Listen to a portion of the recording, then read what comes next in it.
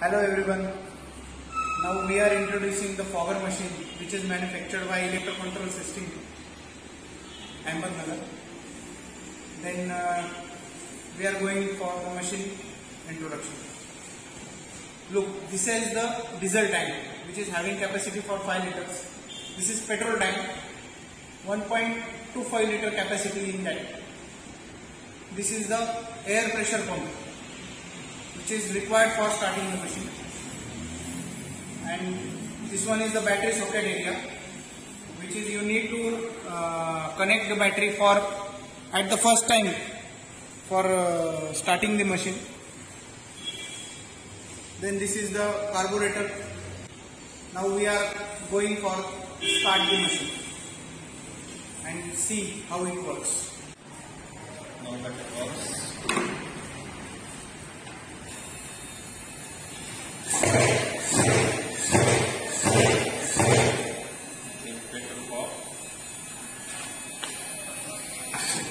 Thank you.